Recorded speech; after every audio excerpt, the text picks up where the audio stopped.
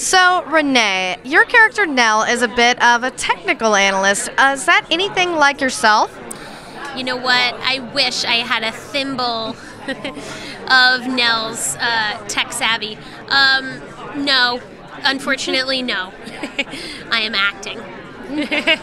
Well, then you are really a good actor, and a lot of those lines are really hard. How much do you have to practice to get all of that in? Thank you for acknowledging that.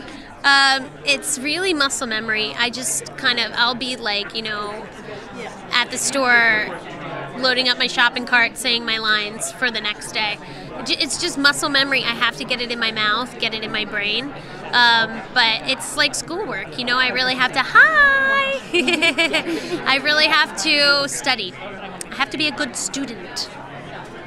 Well, that's cool. So, you say you're a good student. Who of your cast members is not such a good student? Oh, mm-hmm. snap.